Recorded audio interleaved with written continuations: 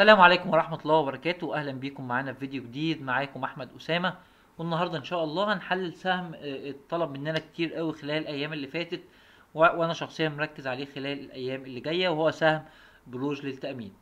آه، سهم بروج للتأمين بيشهد بعض التذبذب بقاله أربع خمس جلسات بيتذبذب في منطقة بسيطة جدا بين مستويات ال 15.1 لمستويات ال 15.7 تقريبا خلال الأيام الأخيرة. طيب في البداية سهم آه، بروج التأمين طلع عليه خبر من الشركة نفسها إنه احتمال يتأثر بشدة من آه، آه، من الإجراءات اللي تم اتخاذها بخصوص فيروس كورونا واحتمال إن عدد الوسائل التأمينية هيقل خلال الفترة اللي جاية وبالتالي ده هيأثر على الشركة عامة. حاليا. فنيا سهم بروج التأمين قدر إن هو يمتص الموجة الأخيرة.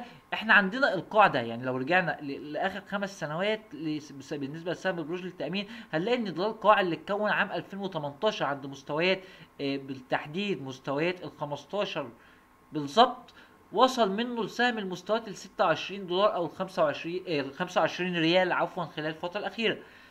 فبالتالي إحنا امتصينا الموجة الأخيرة رجعنا تاني نتداول أعلى القاع ده خلال الأيام اللي فاتت. أكملنا نموذج harmonic AB equal CD وابتدى يرتد منه أهدافه عند المستويات بي للنموذج عند مستوى ال 16.4 ومستويات ال 20.7 فالسهم حتى الآن فنيا ما نقدرش نقول إن هو سلبي لا هو في مناطق إيجابية تدفعه للصعود خلال الفترة الجاية. ما- دمنا أعلى مستويات ال 15 زي ما قلنا هو القاع. حصل فيك بريك أوت للمستوى ده أو للقاع ده أو لمستوى الدعم ده وقدر تاني إن السهم يتداول اعلاه فبالتالي ما دمنا أعلى مستويات ال 15 أنا أرشح الصعود بالقوة. بقوة الفترة الجاية. أهدافنا عند مستويات ال 16.6 ال 16.4 ثم مستويات ال 18.3 المفروض إن في هدف نهائي عند مستويات ال 20.7 بس شايف إنه هيكون صعب الوصول إليه ببساطة أو بسرعة لأن إحنا عندنا منطقة عرض قوية بين ال 17.5 لل 18.3 فدي نوعا ما هتوقف صعود السهم خلال الفترة اللي جاية.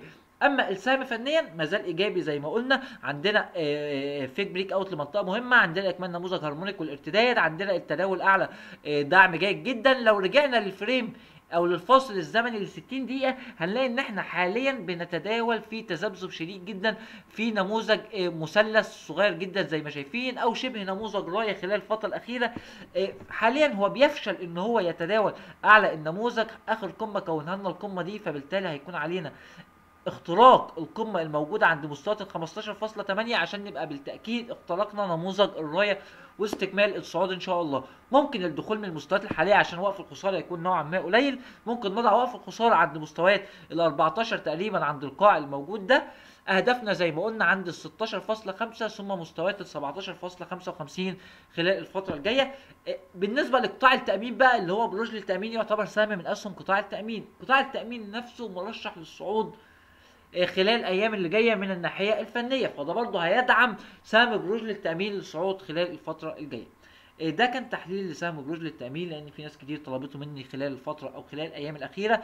في نفس الوقت إحنا كمان ما ما ننساش إن عندنا مناطق أو أو أحجام تداول جيدة جدا ومناطق شرائية متمركزة في المستويات اللي إحنا موجودين فيها حاليا.